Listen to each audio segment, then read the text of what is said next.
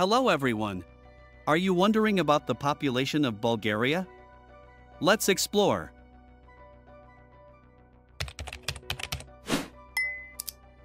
Bulgaria, a country in southeastern Europe, has a population of about 6,688,000 people, ranking it 108th in the world.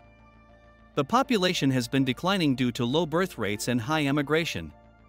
With a land area of 108,560 square kilometers, Bulgaria has a population density of 62 people per square kilometer. This density is considered low, reflecting the country's mountainous terrain and significant rural areas. Most of the population lives in urban areas, with significant populations in cities like Sofia, the capital, and Plovdiv. About 73% of Bulgarians live in cities.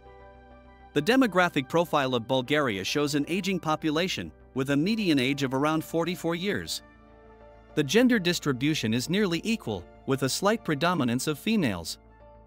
Please like the video and if it was useful consider supporting us on Patreon.